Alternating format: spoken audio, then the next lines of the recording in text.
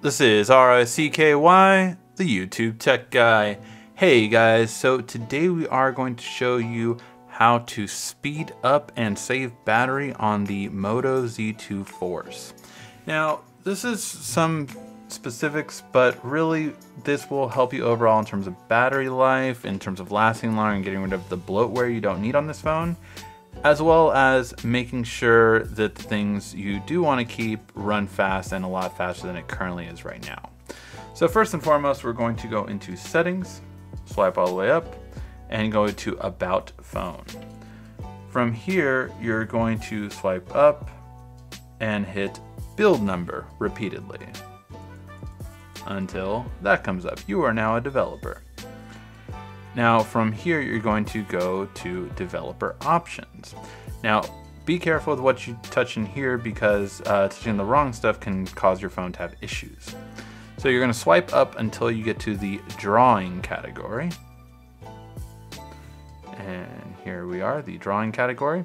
And you're gonna see three things that say animation and scale. These are all set to 1x. You wanna change this to 0.5 for each of these. So change each of these. And now you already see a speed difference in how the phone moves and operates. So you're gonna see a big difference in it already, but we're gonna have more to show you. So the next part is going to be under location. Now for location, you want to hit these three dots up here, hit scanning, and you want to turn off Bluetooth scanning. What this allows for is that your Bluetooth is always on even if you have Bluetooth off and it doesn't need to be. So turn Bluetooth scanning off. For Wi-Fi scanning, you do want to leave that on just because GPS will take longer to discover where you are if you don't have that on.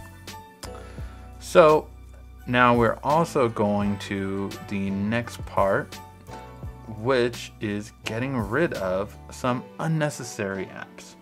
So the first one that's unnecessary would be Lookout. This drains your battery a lot. And uh, you don't really need it because if you ever lose your phone, Android Device Manager can be used on any computer. You just go to a web browser, Google Android Device Manager, sign into your Gmail account, and you can remove remotely delete the phone or find where it was last turned on. So you don't need Lookout, and if you're worried about viruses, as long as you get all your apps from the Play Store and don't click any unnecessary ads or don't go to weird websites, then you should be fine. So getting rid of Lookout. We're gonna grab it, drag it over to App Info, force stop, and then disable. This will help your battery life about an hour, so it's really good to get rid of it. So that's to be the first thing, and again, we see it moving faster and faster as it goes along.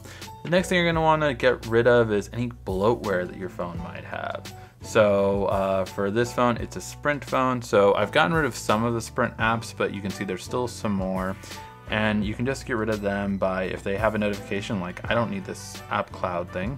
So I'm gonna hold it down, go into more settings, go to app cloud, force stop, and disable. And again, this makes your phone run faster because all these things aren't running in the background. It's also not taking your battery life. So these are the main ones you want to get rid of. Uh, other ones I would get rid of is like say if you don't need some of the Google stuff, if you have Verizon, if you have AT&T, if you have T-Mobile, all of them put their own bloatware on it. So get rid of what you need.